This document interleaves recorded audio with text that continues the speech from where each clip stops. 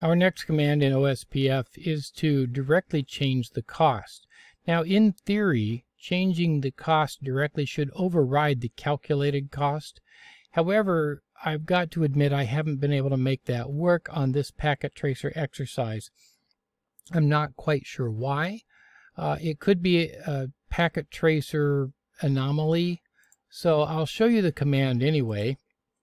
First we're going to do the show IP OSPF interface S001 and right now we see that the cost is 781 that's because I changed the bandwidth.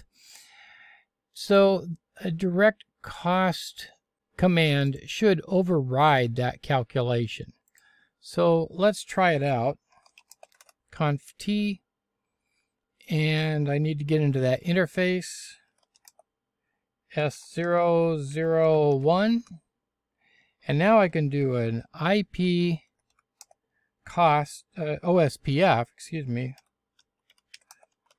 cost 64 now in theory that should change it. It doesn't tell us we need to restart the router or anything like that. So let's try it out.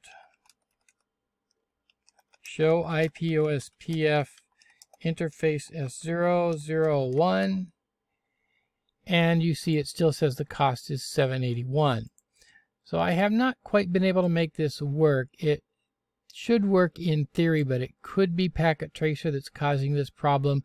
I don't really know. But at least we now know the command